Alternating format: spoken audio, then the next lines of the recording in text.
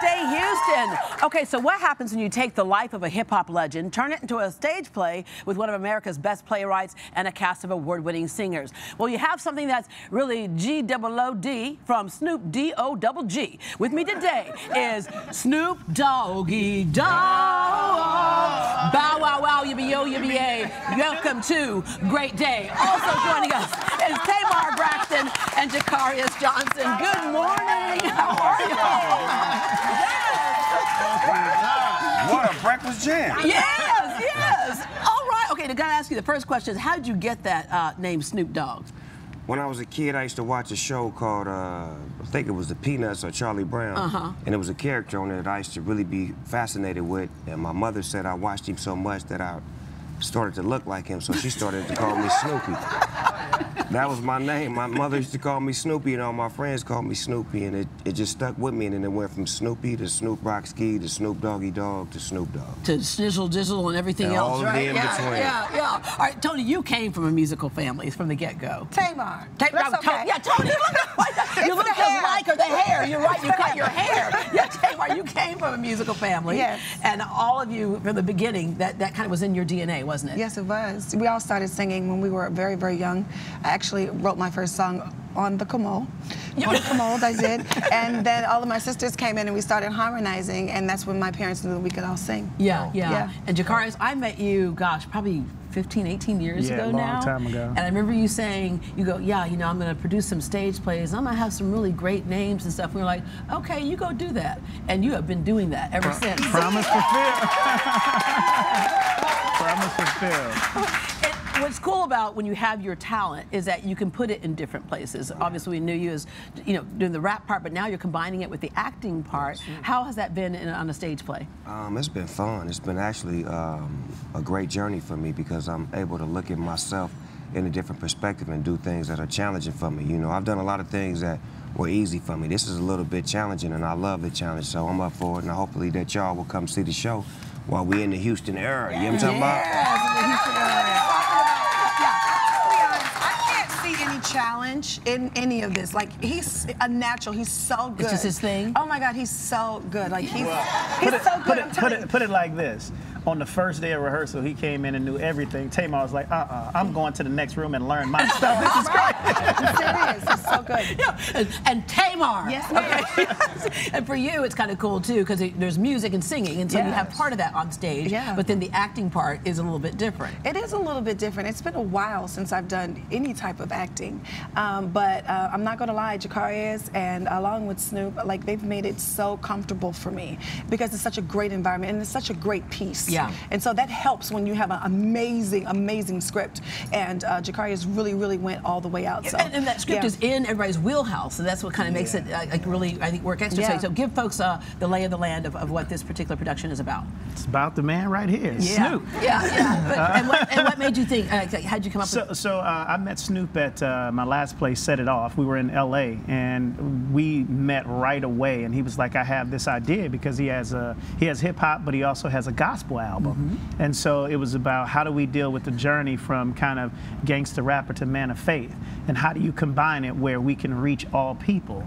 And so uh, we sat down, we collaborated, and, and went over it, and I, th- I think we came up with a masterpiece. I, I'm very, very proud of this play. And I kind of love like how you go from like you one direction to the other direction. It's like yeah, the world can be chaotic and a mess, and at the same time, we can all be saved, right? Thank God we have a forgiving God. Absolutely. We all need a little redemption, right? Please believe We all need a little redemption. All right. So, uh, how's it been when you put all these personalities together? Did you two know each other before? We've met each other along the way a lot of times, um, but it's never been this close proximity. Right. But uh, I, I would have waited forever just to have this experience because it's it's so worth it, and he's so amazing, and he's like my big brother, and it's like he's the greatest ever. He's so kind-hearted and giving and smart Yeah. and um, talented, you know. So I mean, I will- Tamar is like the sister I never had. I never had sisters. I grew up around all boys, so this is like a great experience for me because we got the same spirit. Yeah. We, we love to clown around. We love to be the life of the party. So to have somebody that get down like I get down is fun because usually I'm the only one who's with having so much fun, but she come in ready to have fun. We be clowning and messing around. and it makes the job that much Yes. more fun when you can build a brother and a sisterhood based off of working and based off of the love that you have for each other's craft. Yeah, and Jacarius, you need to roll tape on all that stuff behind the scenes. 'cause That's like, that's like the second production, right? It is, That's and the it's one behind the going scenes on. That's, that's a whole lot of fun. And these these two guys, um, you know, coming from the music world where they work as individuals, you know, coming into a team sport, I'm just so so proud of them. They're doing an awesome job, and I can't wait for Houston to see them. Yeah. Yeah. In Redemption of a Dogg. All right. Uh, when it comes to, to rap music, it, it's funny because you'll have people who'll say, "I don't think I like that. I don't like the rap me," and then all of a sudden it starts playing, and they're like, they're the ones in their car going, "Bow wow wow yippee yo yippee yay." and you see them at the stoplight, and they're like getting with it because it's one of those things that just it makes you move, right? Right. And then later you you. start thinking and you start hearing some of the lyrics. And then you start seeing what the, what the words mean. Right. The funny part too about the lyrics though is that everybody kind of knows their one hook, and that's when everybody jumps in real quick, kind of like the Negro national anthem. We're like, you know, We we only can know the voice beginning. and sing, That's and all of a sudden it's like, yeah. Okay, so uh, we're gonna play a little game here because. Uh, we actually have one of our, our staff members who is a big fan of yours. He's A a, Snoop Dogg up-and-coming Snoop Dogg fan. You Uh-oh, are his hello. role model. Hello, that's he right. is up and coming. Steven, Steven Huff over here. Oh, yo, I like your hair, guys. How you doing, man? Hi, darling. Steve, I like your hair game, baby. Oh, I appreciate that. Yeah, so Steven, like, what, what do you want to say to Snoop Dogg? What kind of, you know, Man, advice or uh, whatever? This is gonna come as all left wing, but the wash. And I think that's a underrated comedy that you were in. That every time you come on screen, that was funny. Thank So, you, bro. I appreciate that. Yeah, yeah. Okay, People well, might um, Steven has done his own kind of rap songs, and so uh, we're gonna see who knows each other's rap songs, right? right? The lyrics, the lyrics, the lyrics. Okay, like okay, the first lyrics is this. Oh, oh, I have some music. Thank you. Okay, here we go. Baby girl wanna be grown. She got a Facebook page and a cell phone. Her daddy getting money, her mama on the dole. They're moving too fast, but she really don't know. Is that Snoop Dogg or Stephen Huff? Y'all put up your hand. Who's that? Who's that? Snoop, do you know if those are your words or not? Do you know? I don't know? know. I'm, I'm gonna do this. Okay,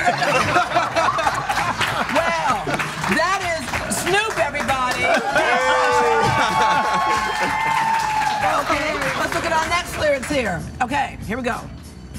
Let me go get my beat beat down here, okay? If it ain't focused, I'ma be 65 with a job still, only Nissans and Hondas in a lot field.